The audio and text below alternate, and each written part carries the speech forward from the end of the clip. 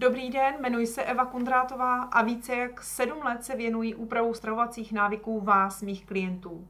Za poslední tři roky mýma rukama prošlo více jak 250 lidí ve věku od 6 do 74 let. Nejvíce mě oslovujete s požadavkem na snížení váhy a s následnou úpravou jídelníčku tak, abyste si udrželi váhu co nejdéle, abyste měli dostatek energie pro vaše aktivity a aby jídlo pro vás bylo radostí. A co vy? Máte čas žít zdravě? Máte dostatek energie, vitality, síly, zdraví? Prostě cítíte se dobře? Jsem tu pro vás, přijďte. Určitě společně najdeme nějaké řešení. Více informací na mých webových stránkách nebo na Facebooku. Budu se na vás moc těšit. Na viděnou.